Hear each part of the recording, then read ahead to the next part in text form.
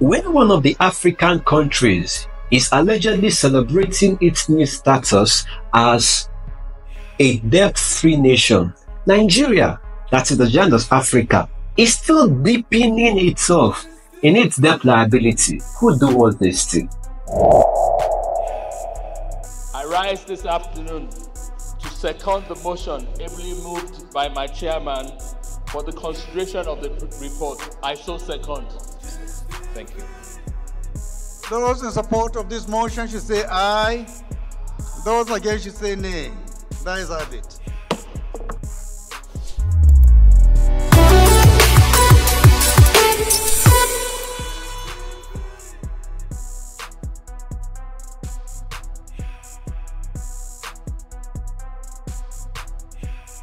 Well, guys, welcome back to the channel. This is Geez TV, and the Nigerian House of Representatives have approved the Tinubu loan for the sum of $2.2 billion, equivalent of 1.77 trillion naira external loan um, pursuant to the 2024 appropriation bill. Now, it is said that this loan um, will be used for infrastructural and developmental activities for long-term economic sustainability. Not be today we started to hear this kind of gist, all this kind of story. Not be today we started to hear these kind of things from government. Say they go do this one, they go use this one, do this one, and then at the end of the day, we don't see anything as such. Yes, uh, the truth is that the people of Nigeria actually lost trust in the government. That anything now the government come out now call talk say they won't do. The people will not believe until they actually see the government start doing it. That is the state you are in right now. So the government is saying that they need this money for this. The people are not believing that because what you've been experiencing over the time over time is failed promises failed legacies and just talks no action.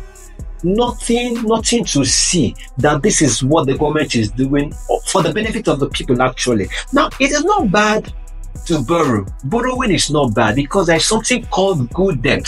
When you borrow and then you use the money for investment and then the investment yields a return and out of that you're able to pay back the, the, the debt. That is good debt. Um, but we also have bad debts, and that is what we'll be expressing in Nigeria. Where you borrow and there's no plan to pay back, you just borrow for the sake of borrowing. There is no um, lay down system for using the money, investing the money, and then trying to get a payback from that. That is the what we've been experiencing in Nigeria. Now, earlier said that an African country is allegedly celebrating its new status as a debt-free nation. Actually, that is not true.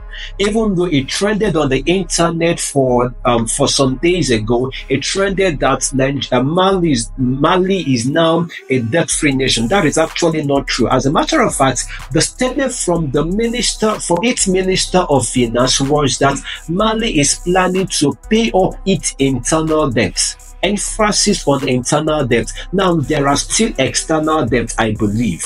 Internal debt are the debt that was incurred internally within the nation, maybe from corporations or maybe from uh, money lenders or whatever at all. You grab. Now, there may also be external debt, maybe from international organizations or banks or like the International Monetary Fund or from international um, countries. Now, what Mali has said it's going to pay out its its internal debt. So it is false to assume that Mali is not debt free. However, if it can pay its internal debt, then there is hope that it can pay off its external debt too.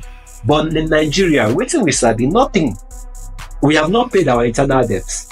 And we are deepening our liability on our external debt. Like it is it is bad. Well, guys, I want to hear your thoughts about this in the comment section. Would you would you trust the government that this money that are borrowing now will be used for economic sustainability, as it is said, or um, it should be one of those things?